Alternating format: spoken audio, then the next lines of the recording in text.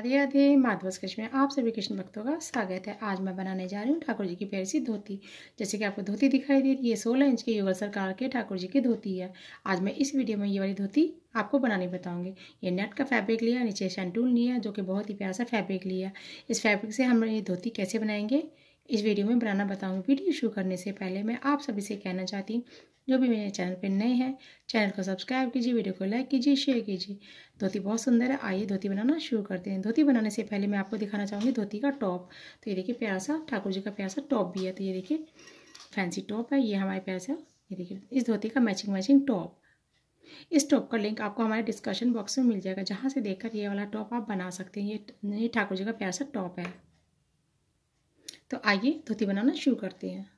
आइए अब मैं आपको ठाकुर जी की धोती का माप बताती हूँ। जैसे कि आपको फैब्रिक दिखाई दे रहा है फैब्रिक हमारा यहाँ पे नेट का जो कि सीक्वेंस वर्क का बहुत ही सुंदर सी प्यारी सी एम्ब्रॉयडरी और साथ में यहाँ पर बॉर्डर वाला है।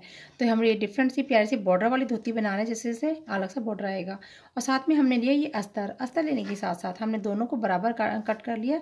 कितना कट किया मैं आपको बता देती हूँ। इसका माप जो है, इस तरीके से देखिए। अस्तर के साथ हमने साढ़े इंच और इस साइड से जो हमने लिया है ये देखिए, साढ़े चौदह इंच। तो इस तरह से लेने के बाद, यानी कि ये दोनों पैरों का हमने इस तरीके से माप ले लिया। इस क्या करना है अब हमें इस तरह से बीच से बराबर बराबर कट करना है। कट इस तरीके से करेंगे हम यहाँ पर।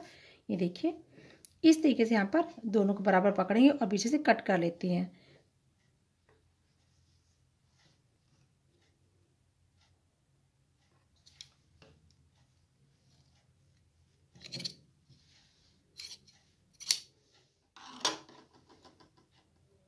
तो देखिए हमें इस तरीके से यहाँ पे बीचे से दोनों को बराबर बराबर कट कर एक ही साथ रखे हमने दोनों को कट कर लिया। अलग अलग से भी कट कर सकते हैं और साथ भी रख के कट कर सकते हैं।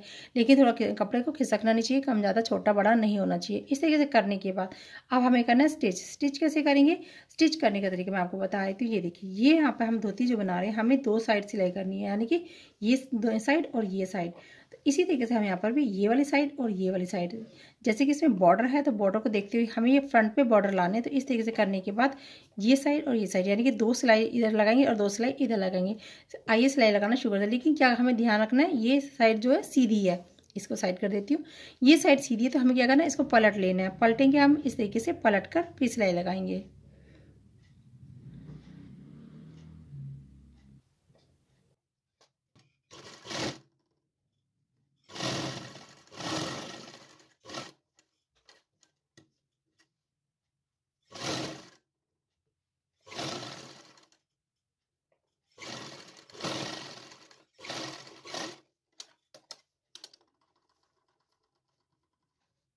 तो देखिए, जैसे मैंने आपको दिखाना चाहूँगी, एक साइड हमने एक पीस पे सिलाई लगा लिया हम इसको पलटेंगे तो सीधा करेंगे।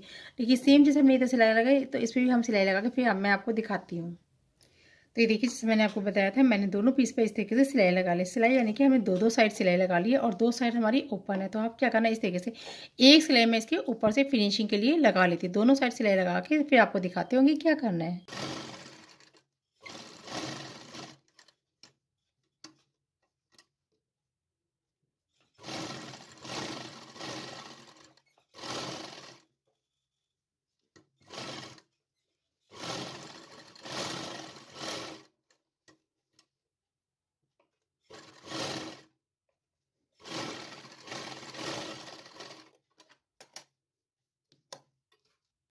तो देखिए, जैसे मैंने आपको बताया था, मैंने यहाँ पर ऊपर की सिलाई भी लगा ली। लगाने के बाद क्या करना है? ये देखिए, इस तरीके से हम दोनों पीस को, अब ये हमारे यहाँ पे ये तैयार रेडी पीस तैयार हो गए हैं तो हमें क्या करना दोनों पैरों को इस तरीके से रखेंगे।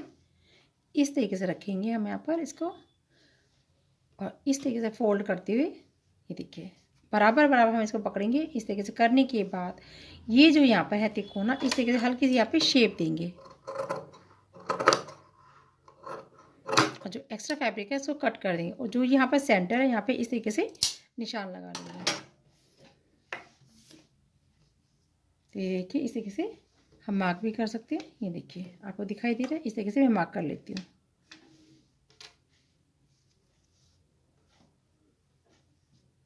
ये देखिए, इस तरीके से करने के बाद ये हमें हल्की से यहाँ पे शेप दे दी है। ये देखिए इस तरीके से। अब क्या करना है? यहाँ पर इस, ये जो पीस है, हमें क्योंकि डिज़ाइनर धोती बना रहे तो हम इसको यहाँ पर इस तरीके से रखेंगे और इसको ज्वाइंट कर लेंगे। यानी कि जो हमारा ये डिज़ाइन है पूरा, इस डिज़ाइन को इस डिज़ाइन के साथ में इस तरीके से रखेंगे और यहाँ पर पूरा सिलाई लगा लेते हैं। तो आइए पहले, सबसे पहले यहाँ सिलाई लगाऊँगी, फिर आगे बताती हूँ क्या करना है।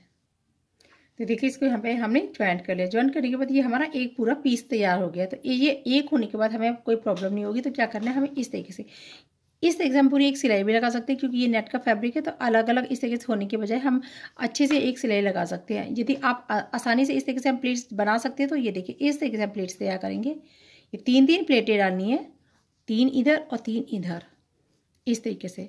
ये हम प्लेटें डालेंगे, आप इस तरीके से भी डाल सकते हैं, और ये देखिए, मैं एक और दिखा जाऊँ इस तरीके से भी डाल सकते हैं।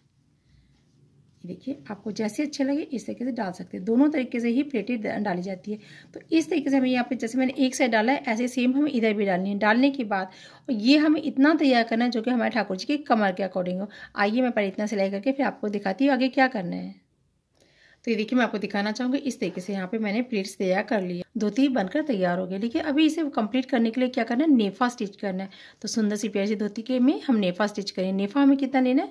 और ये मैंने आपको बताया, ये हमारे ठाकुर जी की कमर के अकॉर्डिंग जितनी हमारे ठाकुर जी की कमर होती है।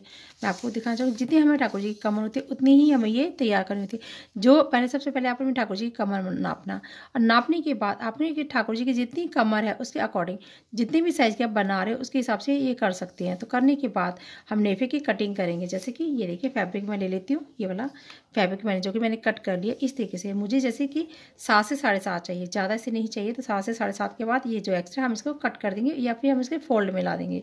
और इसके तरीके से यहाँ पर ये जो चौड़ाई है, चौड़ाई हमने तीन इंच रखी है।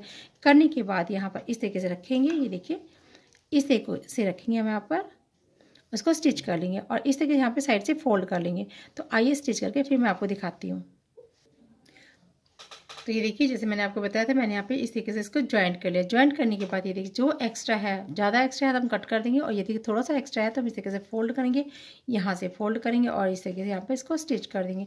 इस साइड से भी फोल्ड करेंगे और इस साइड से भी फोल्ड करेंगे। तो आइए इतना फोल्ड करके सिलाई करके मैं आपको दिखाती हूँ। तो देखिए, मैंने यहाँ पर नेफे को स्टिच कर दिया। स्टिच करने के बाद यहाँ पे धोती हमारी फाइनली तैयार हो गया। इस तरीके से इसके अंदर साइड से ये देखिए नेफी के अंदर हम डोरी डाल सकते हैं, इसमें वेलक्रो लगा सकते हैं, इस तरीके से वेलक्रो लगा सकते हैं और टिच लगा सकते हैं। तो इस तरीके से ये धोती बनकर तैयार हो गया। और बहुत ही सुंदर सी प्यारी सी धोती मैंने आपको बनानी बताया आप इसको किसी भी साइज़ में बना सकते हैं।